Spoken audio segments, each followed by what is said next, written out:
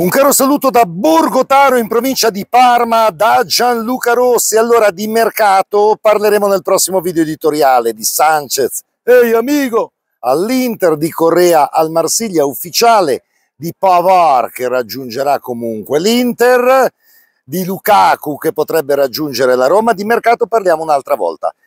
Questo è un video dove non mi interessa avere visualizzazioni. È un video reportage, è un video dedicato agli interisti che, eh, ahimè, hanno una certa età. Borgotaro, la patria di Eugenio Bersellini, un grande allenatore dell'Inter che vinse con l'ultima squadra tutta italiana, l'Inter 79-80, lo scudetto, oltre a due Coppe Italia. Oggi qui a Borgotaro c'è stato il Bersellini Day, è stato inaugurato un murales davanti allo stadio Bozzia, c'è una mostra fotografica che resterà aperta, e c'è stata una tavola rotonda per ricordare insomma l'Inter che fu. Io avevo solo 13-14 anni, ma quell'Inter me la ricordo a memoria. Bordon, Baresi, Oriali, Pasinato, Mozzini o Canuti, Bini, Caso, Marini, Altobelli, Beccalossi, Muraro. E alcuni di questi sono venuti qui quest'oggi. Eugenio Bersellini non c'è più, ma la città di Borgotaro ha voluto onorarlo ci sono le figliole, Barbara e Laura, e insomma è stata una bellissima giornata per respirare a pieni polmoni l'Inter che fu. E chissà se qualche giovane followers di oggi, quelli convinti di sapere tutto, ha voglia di conoscere un po' di storia dell'Inter. Allora se ha voglia di farlo, attenzione, perché adesso in questo reportage parlerò proprio di quello che è stato Eugenio Bersellini per i suoi ex giocatori. Quindi lancio una serie di interventi, credo di averli messi in ordine per ruolo, se non li riconoscete sono comunque Bordon, poi c'è eh, Canuti, poi c'è Mozzini, poi c'è Pasinato, poi c'è Marini. E poi c'è Carletto Muraro. Ma c'è anche un altro idolo della mia infanzia che fu lanciato da Bersellini, anche se non ha mai giocato nell'Inter, in questo contributo, il sindaco Marco Osio, il suo racconto di Bersellini è meraviglioso e quindi lo ascolterete, credo, con piacere. E poi andiamo a chiudere con le due figlie. È giusto che chiudessi con le due figlie dell'Eugenio Bersellini, del sergente di ferro, che era poi un sergente buono. Laura e Barbara. Il loro ricordo in una parola, quindi, ripeto, video per intenditori sul canale YouTube Gianluca Rossi. Parta il contributo delle interviste. Ma era più sergente buono o sergente di ferro?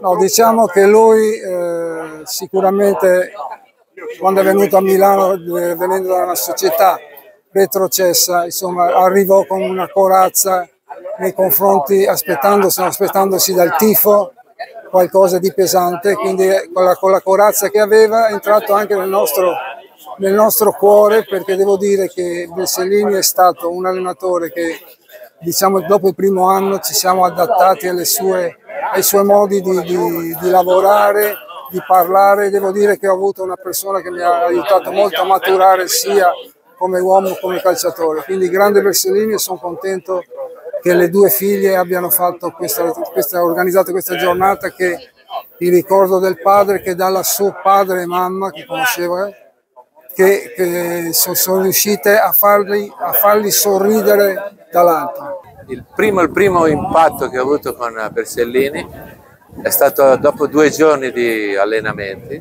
a San Pellegrino.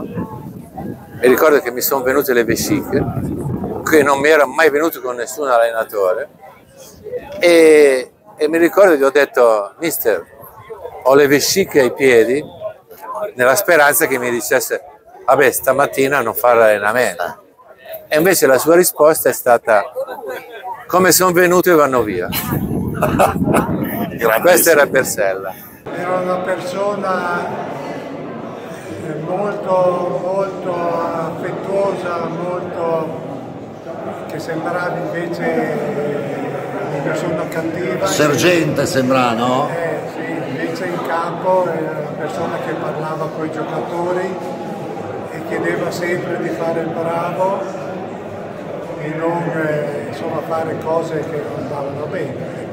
Eh, ho tantissimi ricordi, anche perché con lui sono rimasto cinque anni e sono stati cinque anni più belli della mia attività calcistica, anche perché grazie a lui eh, parecchi di noi, meno sei di noi sono riusciti poi ad andare in nazionale, vice campionato del mondo eh, e poi grazie a lui abbiamo vinto uno scudetto, due, due Coppa Italia, ma soprattutto abbiamo imparato tanto e come calciatori ma soprattutto come uomini perché è stato una persona speciale, una una persona di grande umanità. Io sono arrivato a Milano, lui era già un anno che era all'Inter, eh, mi ha insegnato un po' come si fa a soffrire, come si fa a giocare a San Siro e quindi è stato un, un ricordo piacevole perché è stato il mio primo allenatore in Serie A. Ma era più sergente di ferro o sergente buono? Era un sergente buono, però aveva le sue idee in tante cose sul mangiare, sul bere, però dopo alla fine sapeva che noi a mezzanotte andavamo a mangiare in giro, no? C'era Muzzini che faceva la pasta e lui diceva alla fine, ha detto lo sapevo, però vuol dire che era, facevate anche gruppo e quindi è, è un sergente buono, dai. Beh, che siete un gran gruppo lo si vede dal fatto che dopo tanti anni vi ritrovate ancora qua. Insomma. Sì, una volta l'anno, due, dipende, ci troviamo a Milano, eh, con i 10-12 che abbiamo vinto il campionato. Sono, è bello anche perché poi eh, vengono fuori sempre cose nuove, no? eh, gli scherzi che faceva Canuti, le battute di Biccalossi, insomma un po' di tutto dai. Bersellini. Se ti dico Bersellini, siamo qua per una giornata in suo onore, che cosa ti viene in mente? Sofferenza, fatica, vincere la fatica e ancora di più. Cioè, mi ricordo quanto ho corso effettivamente, ma in allenamento era particolarmente troppo. E poi durante le partite, sempre a sostegno della mia squadra, ho corso tanto per tutti i miei compagni. La gente ti vuole bene anche perché tu sei uno di quelli dell'ultima squadra tutta italiana a vincere il campionato perché poi hanno aperto agli stranieri l'Inter 79-80 erate tutti italiani forse per questo che c'è questo spirito di corpo anche dopo tantissimi anni che vi rivedete sempre. Probabilmente sì anche perché tra tanti eravamo in molti a, a arrivare dal settore giovanile quindi ci conoscevamo e frequentavamo anche prima. Però abbiamo imparato a conoscere tanti allenatori tra i quali Bersellini ci ha cambiato nel senso fisico della cosa più che, che, tecnica perché anche tanti altri allenatori che ho avuto erano bravi sotto l'aspetto tecnico-tattico.